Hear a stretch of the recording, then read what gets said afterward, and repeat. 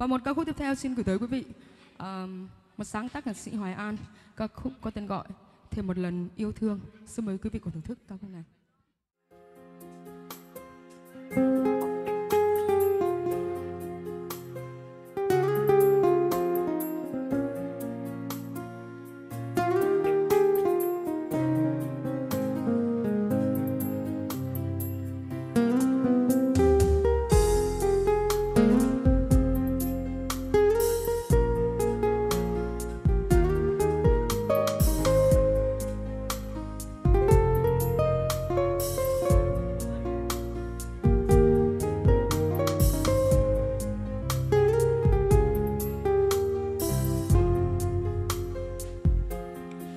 Bao nhiêu cuộc vui, bấy nhiêu giọt sầu.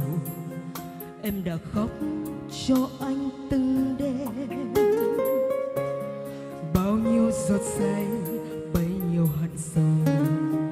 Em đã lỡ vương mang vì anh.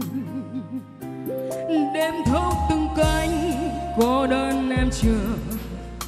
Rồi đến lúc nỗi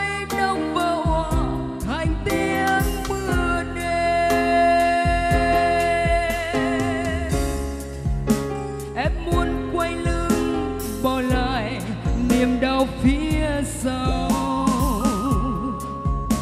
Em muốn ra đi, thôi không cần anh nữa đâu. Bàng hoàng anh biết, giờ đã mất em, nhưng con níu kéo.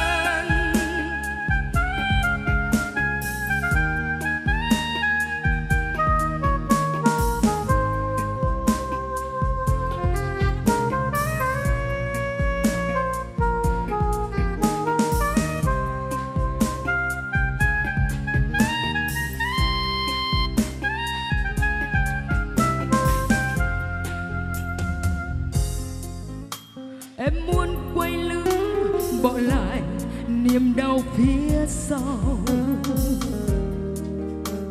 Em muốn ra đi, thôi không cần anh nữa đâu.